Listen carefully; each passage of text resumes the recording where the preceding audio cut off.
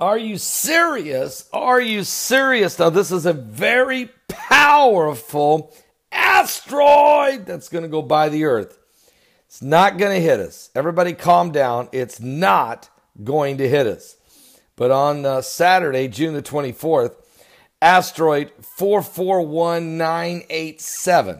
That's 441987, an asteroid that scientists discovered back in 2010 it is huge, though. It's 750 feet wide in, or in diameter. 750. This is a big rock. A lot of times you got smaller rocks go by, and they go by a lot closer. This one is going by at 7.9 LD. It's not, I repeat, it's not going to hit the Earth. But it is huge. It is a near Earth object, and there are, you know, we've been witnessing them now. There's been a major increase in the number of asteroids that have going been that have been going past the Earth as near Earth objects within range. That's called a near Earth object. Matter of fact, right now, uh, NASA's got their eye on 1,803 of them that continue to threaten the Earth at different times. It's almost every day. A couple days ago, we had two of them. One was only 33 feet, uh, 33 meters. The other one was only 28 meters. Okay. Uh, but they, they went by. They weren't very close. They were even further away, but they're still considered near Earth. We've had some those scrape by. Like we had on June 19th, we had one. It was 17 meters, so it was small, but it was only one LD from the Earth. In other words, it was only 240,000 miles. It was the distance from the moon to the Earth and when it went past. The problem you have is the more of these that keep showing up, the fact that we're in this galactical belt, that we have this increase in the numbers that are exponentially increasing, and this fireballs that keep coming through our Earth's atmosphere. We know that we, we, we can't keep dodging them. They know it. Scientists know it. It's look. Can I tell you what else happening? Asteroids are increasing at numbers that we are the the probability is increasing so much. We know and according to the Bible, we know we're going to have at least two major deep impacts that are catastrophic, cataclysmic on the planet. It's prophesied to happen. We also know that we have the, in America, we are so overdue.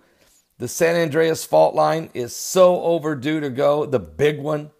There hasn't been a major quake in that part of the uh, world in 100 years. Cascadia is a ticking time bomb up there near Washington State, Oregon, Northern California, southern uh, the uh, southern uh, southwestern corner of Canada. We know Cascadia is going to go. It hasn't gone off since 1700, and that one was so mega, so huge. I mean, it's been over 300 years. We know the New Madrid fault line that went off in eight, the quake we had 1811 and again in 1812 reshaped the entire direction of the Mississippi River. It is so overdue, it's scary. So then we know the super volcano is alive and and shaking and quaking and, and, and, and the devil's back is breaking and that thing wants to go and that's up in Montana at Yellowstone National Park. And now you got asteroids increasing like never before, earthquakes increasing. Last year, we had 44 official different volcanoes that erupted. 44 that is a significant uptick. We uh, the, the, the earth averages about 38 a year. We had 44 last year. So we're sensing and with the dead animals and all the dead birds dead fish dead cows it's just apocalyptic conclusion to the matter. And i'm not even talking wars and rumors of wars. I'm not talking nuclear fallout. I'm not talking uh, migrant crisis and, and, and major radical Islamic advancement. I'm not even discussing the fact that by the year 2050, we have to have twice as much food growing to feed the population than we have right now. Twice as much. Look at me in the eye. Just by the year 2030, I said 2050, I'm wrong. 20, 2030, we have to have twice as much food growing. Are you serious? That's why the UN has what's called a global sustainability agenda. They've moved from Agenda 21 to another whole agenda.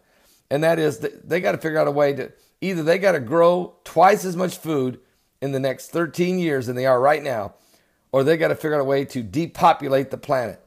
So, folks, that's why the Agenda 21, that's why the chemtrails, that's why you see the uh, Georgia Guidestones. This is why the, the, you see this globalism. It's a world movement. It's a new world order. It's the beast in the Bible. And is why all these things are happening technological advancement. And then now they're wanting to manipulate DNA and the artificial intelligence that's starting to uh, be increased. And the all of the different things taking place are shaping up the wickedness, the spiritual evil that's abounding, the wars, the rumors of wars. Soon you're going to see false Christ and false prophets really start to rise, and they'll deceive many. And you're going to see uh, more extreme weather conditions. And then there's Planet X. I mean, just are you serious? There's Planet X out there, Nibiru. What are you going to do with that? That's real. I mean, the, the earth is shaken. Jesus said, There shall be signs in the sun, the moon, and the stars, distress of nations with perplexity, the sea, the waves roaring, and men's hearts would fail them for fear, looking after those things that are coming upon the earth, for the powers of heaven shall be shaken. But then, then, I said, then shall they see the Son of Man coming in a cloud with power and great glory. And when these things begin to come to pass, he said, just look up and just lift up your head, for your redemption is drawing nigh. But are you ready to meet the Lord? Are you ready? And what if you should die in one of these cataclysmic situations? I didn't even talk about sinkholes that have went off the charts swallowing things. That's another whole issue. Mudslides, tsunamis, hurricanes and cyclones that are going to continue to increase. Are you saved? Come on, let's get right with God. This this world is not. There's no hope here. I mean, this is just where we're hanging out till till eternity comes. But where will you spend it? Give your life to Jesus Christ. 12 noon Eastern, I'll be live. Join me right here on this YouTube channel. I'll be live.